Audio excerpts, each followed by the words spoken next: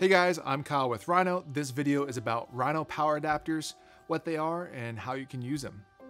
So we all know how atrocious the battery life is on cameras like the Sony a7S or the Blackmagic Pocket 4K camera that uses the LPE6 Canon batteries, and there's great solutions on the market for those.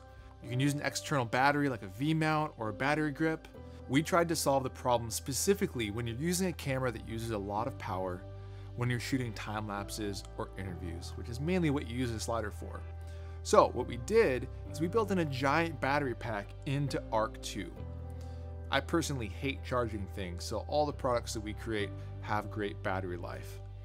But we added so much battery power that we can actually tap into that and run your camera off it using an accessory called the Rhino Power Adapter. Let me show you how it works.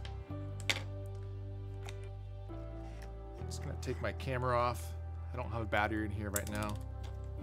Typically, whenever we're putting our camera on a slider for an interview or for a time lapse, we'll run it off of one of these. It's really nice when you're doing long extended shoots like we're doing here, so you don't have to change out batteries all the time. So the adapter has a longer cord so that if you want to, you don't have to power just your camera, you could power your monitor. So if you have a small HD that has an LPE6 battery panel on it, you can use that to power your monitor as well. Let's mount this back up. This cable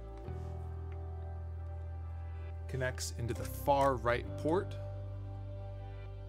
and our camera's turned on, we're ready to shoot. The great thing about this is you only have to worry about charging one thing on the extended shoots, and that's Arc 2. You take your charger, make sure that you have that plugged into Arc 2 so you don't have to worry about that draining. Because when you do have four axes going and you're powering your camera, you're only gonna get three to four hours of battery life out of your actual unit. I also do this not just for interviews, but for time lapses as well. Typically with a battery grip, I can only get a four to five hour time lapse on an A7 type camera. And so I have to use a USB pack on my A7S II in order to power it from USB but that's just an extra pain.